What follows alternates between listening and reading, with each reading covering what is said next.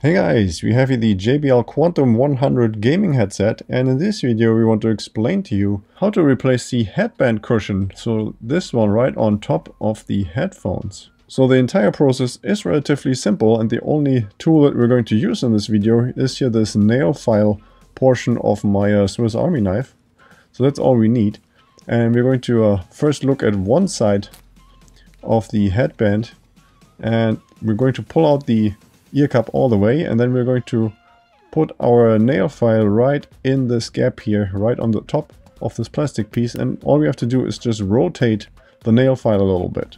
And what you can see is that this plastic cover just popped out and now we're going to have this little gap here on the side and we can also stick the nail file in there and then we can continue to pry loose this plastic cover and eventually we will be able to remove this piece entirely by just pulling it upwards.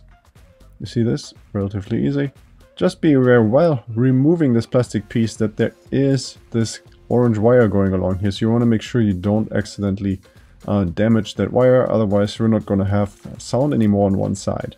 Okay, so then we're going to repeat the same process here on the second side as well. Again, we're going to uh, pry in here with our nail file, to rotate it a little bit, and then we can relatively easily pull this plastic piece out. Now the original headband is simply glued into position here, so we can firmly pull on this uh, leather and pull it out and then you want to remove all the leftover glue residue in order to make the new piece uh, stick really nicely. By the way, in case you're looking for the replacements, then uh, you can relatively cheaply find those on eBay. So i I was able to find those for about 5 bucks.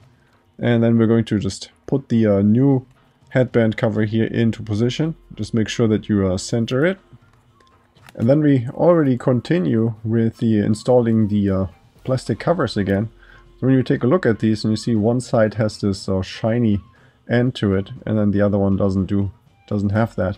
So the uh, shiny piece or the shiny end that goes towards the ear cups so towards the bottom and we're going to slide this into the uh, rest of the plastic frame. It's easiest to do this while you pull out the ear cup uh, all the way. It's going to uh, line the uh, plastic cover, push that in there, line it up and then we're going to firmly press it into position. You should hear a couple of clicks and once we've done this we check that we can still push the ear cup in and out of the headband and then we're of course going to repeat the same process on the second side as well. Firmly push it in all the way and then firmly press on it so that it clicks into position. Yeah, that was already it. It really just takes a couple of minutes. And I hope you found the information helpful. And if you have any more questions or comments, then please leave a message below.